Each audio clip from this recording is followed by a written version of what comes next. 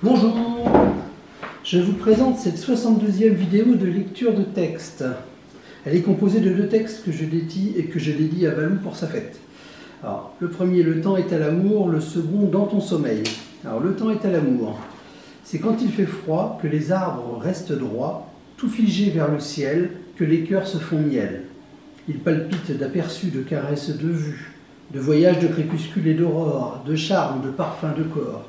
Des corps qui s'éveillent tendrement, de doux sourires, d'effleurements. Les regards se font la cour. Le temps est à l'amour. Les yeux sont éblouis et les lèvres ravies. Les amoureux partagent ces merveilleux voyages. C'est le 33e texte du document Prod 062. Je l'ai écrit dans la matinée du lundi 6 février 2023. Cela faisait déjà deux mois que j'étais en arrêt maladie pardon, suite à mon opération du tendon d'Achille droit. Je pouvais me déplacer avec mes béquilles, mais je n'allais pas bien loin. J'étais souvent dans la salle à manger et c'est justement là que j'ai écrit ce texte, sur cette table, peut-être même à cette place.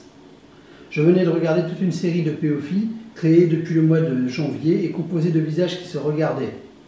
Ces nombreux échanges de regards étaient ceux de Valou pour moi et de moi pour Valou. Pendant ces mois de convalescence, nous avons été toutes les journées ensemble. Autant de temps, cela ne nous était jamais arrivé. Nous avons su, je crois, en profiter. C'est le POFI 30078 qui m'a inspiré ce texte. Le voici.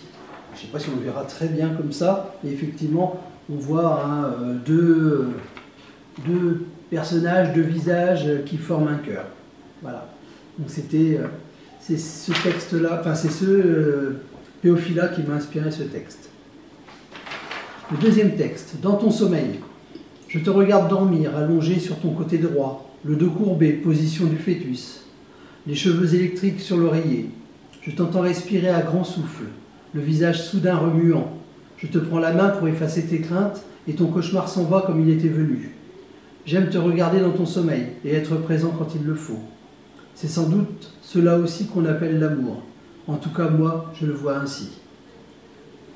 J'ai écrit ce texte dans la salle d'attente de mon médecin traitant dans la maison de santé de Saint-Florent-des-Bois le lundi 25 mars 2024. J'ai toujours mon carnet et un stylo avec moi. Ainsi, dans une salle d'attente, que ce soit le médecin, le coiffeur, le garage ou autre, j'écris et le temps passe beaucoup plus vite. C'est le 31e texte du document PROT 063. Cela faisait plusieurs fois en quelques semaines que Valou faisait des cauchemars au point parfois de pleurer. Pour la réconforter, sans la réveiller, je la prenais dans mes bras ou je lui prenais la main.